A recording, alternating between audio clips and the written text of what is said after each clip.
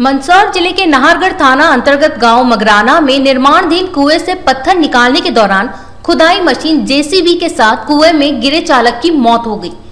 जानकारी के अनुसार शुक्रवार को शाम साढ़े छह बजे करीब गाँव मगराना में आरड़ी निवासी बापू सिंह के खेत पर कुआ खुदाई का कार्य चल रहा था। इस दौरान जेसीबी चालक करण बंजारा एक बड़ा पत्थर निकालने का प्रयास कर रहा था। रिवर्स लेने के बजाय जेसीबी आगे चली गई। और वह मशीन सहित कुएँ में जा गिरा। चालक की मौके पर ही मौत हो गई। सूचना पर नाहरगढ़ थाना प्रभारी गिरीश जिजुलकर पुलिस फोर्स के साथ मौके पर पहुँचे, तथा घटना की जानकारी ली।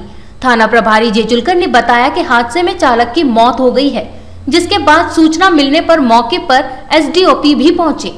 घटना की पूरी जानकारी ली। पुलिस द्वारा मंदसौर से दो क्रेन मशीन मौके पर बॉडी निकालने के लिए बुलाई गई। बड़ी मशक्कत के बाद बॉडी कुएँ से निकाली गई। उसके बाद प्राथमिक स्वास्थ्य केंद्र नाहरगढ़ पर मृतक की बॉडी को पोस्टमार्टम के लिए भेजा गया। उसके बाद विवेचना के बाद मामला दर्ज होगा। पूरे मामले की जाँच पुलिस द्वारा की जाएगी। ग्राम मगराना में मो, मो का कुआ है जो कि बापू सिंह जी आरडी का कुआ है। वहाँ कुआ का निर्माण कार्य चल रहा था। उस कुएँ में एक पत्थर निकालने के दौरान जेसीबी चालक जेसीबी पर कार्य कर रहे, जेसीबी पर कार्य कर रहे करण सिंह पिता भारत बंजारा 25 साल निवासी पिपले योद्धा का।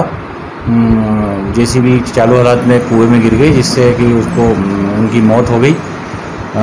अभी हमारे द्वारा घटनास्थल से उनके शव को बाहर और जेसीबी को बाहर किया गया है, मंदसौर से क्रेन मिलाकर इसमें देहाती नालसी लेकर शव को पीएम हेतु सीएच नाहरगढ़ रवाना किया गया है।